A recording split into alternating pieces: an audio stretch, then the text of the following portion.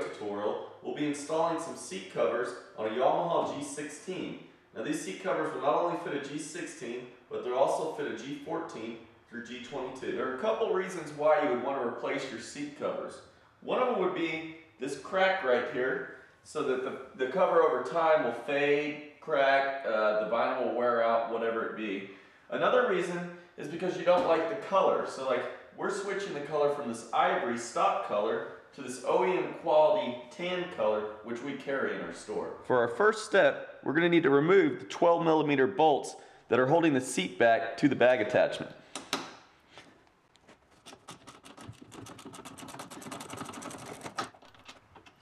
All right, once we have the seat back removed, we're gonna grab a 10 millimeter and remove the two bolts that are holding the black plastic cap to the seat back itself.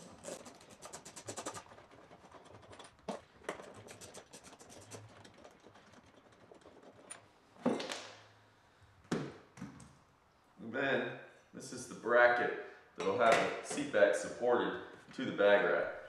Once we got the back cap removed, our next step will be to remove all the staples found here around the perimeter of the seat. In order to do that, we'll take a flathead screwdriver and just pry it behind the staple and pull it straight out. Now some of these staples will get stuck and if that happens, you'll just grab, grab some wire cutters and pull them out as well. So we're just gonna go around right now and remove all the staples.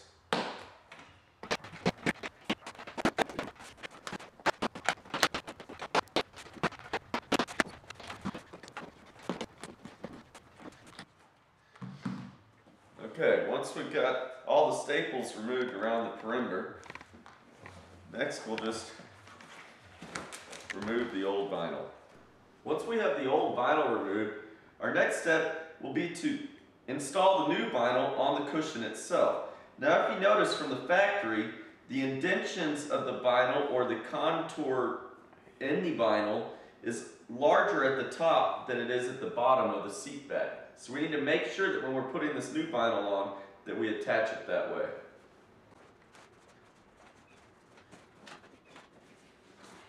As you can see, the larger piece is at the top, and there's not as much vinyl at the bottom. You want to make sure, this is very important, I'd hate for you to recover one seat with this at the top and the other one with it at the bottom.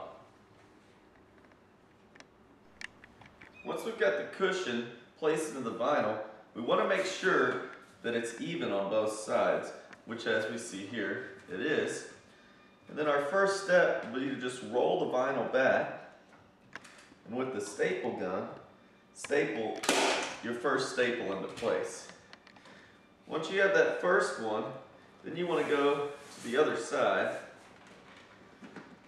and mark your second staple.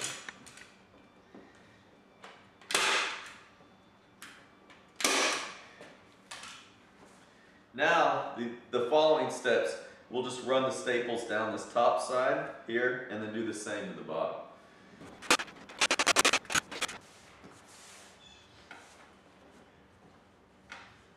Now I'll do the same to the top. Now when you're starting at the top, what you want to do is you want to pull the vinyl so that it kind of stretches so it has a really nice tight fit. Okay, once you're done laying on the staples, and rolling the corners. Just want to take something and make sure that all the staples are down around the perimeter of the uh, seat back.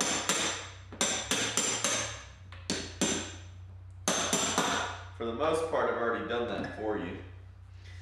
And then our following step, just take a razor blade and cut the excess vinyl.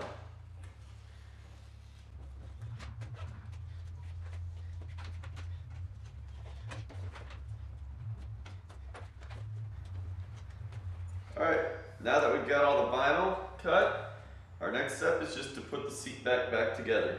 So we'll grab our plate. And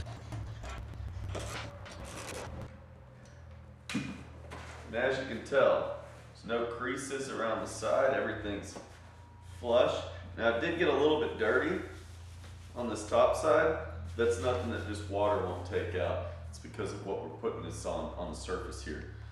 So what we'll do next is install this onto the golf cart itself.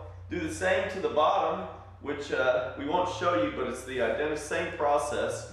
And then we can enjoy our new vinyl seat covers. This concludes the install of vinyl seat covers for Yamaha G16. One thing we like about these seat covers is they're exact OEM match and they're made right here in the USA. Thanks for your time.